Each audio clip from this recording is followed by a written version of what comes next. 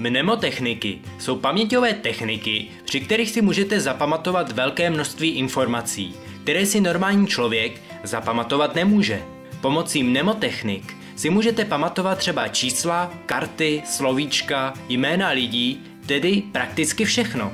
Není to ale o tom, že si ty informace pořád čtete dokola a čekáte, že si je zapamatujete. Možná si myslíte, že to bude ještě složitější, ale opak je pravdou. Je to docela jednoduché.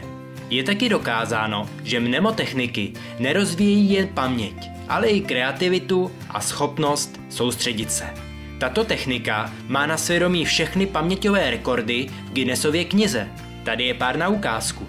Zapamatování 52 kanastových karet za 21 sekund. Zapamatování 501 ciferného čísla za 5 minut. Zapamatování 195 jmen a příjmení za 15 minut. Mnemotechniky nejsou nic složitého. Stačí jen pár hodin trénovat a lidé si o vás budou myslet, že máte fotografickou paměť, která, jak už víte, vůbec neexistuje. Jak tedy vlastně ty mnemotechniky fungují?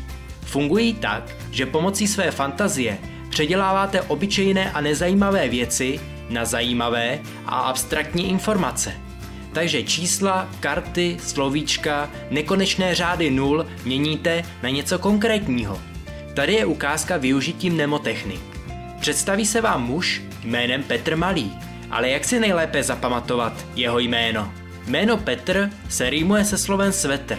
Dejme tomu svetru například výraznou růžovou barvu. A ještě si přidejme, že je mu ten svetr malý. A když si tohle všechno vybavíte, až ho příště uvidíte, tak si na jeho jméno vzpomenete. Mám tu ještě jeden příklad, který možná znáte i vy.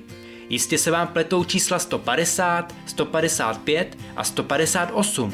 A jistě znáte nějaký systém, jak si určit, jaké číslo komu patří. Číslo 150. Nula vypadá jako rybník nebo hadice, takže to značí vodu, a tedy číslo na hasiče. Číslo 155. Pětka vypadá jako invalidní vozík, takže se jedná o číslo na záchranku. A číslo 158.